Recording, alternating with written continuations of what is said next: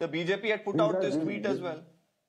These might be one-off cases. I stay in Bangalore. There are no power cuts in Bangalore as of now. Tomorrow, I don't know. But as of now, there are no power cuts. Scheduled power cuts are not there in Bangalore. Those which BJP are showing, you know, maybe one-off cases, we don't know the exact reason. Few people are saying, you know, consumption from the domestic consumers has gone up just because we have given free power. That is far from true.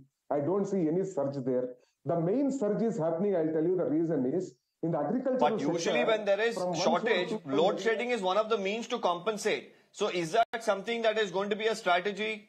Should should the people of Karnataka brace themselves for you know load shedding or probably excessive this time because you're you're, you're yourself saying that there is a shortage? North northwest monsoon has failed. Now let us see the post monsoon rains which come. There are there were few good rains, you know, in the catchment area last week, but another two days, you know, it has come down. If we have plentiful rainfall, again our hydel power, you know, we will be able to get adequate hydel power, and that will be very important, you know, in the coming few months. Let us wait and watch. That is why we have gone to few states to say that we will get enough power, but for the time being, you please lend us few few megawatts of power and we will return it you know next year so that is the arrangement we are trying to have with UP and punjab.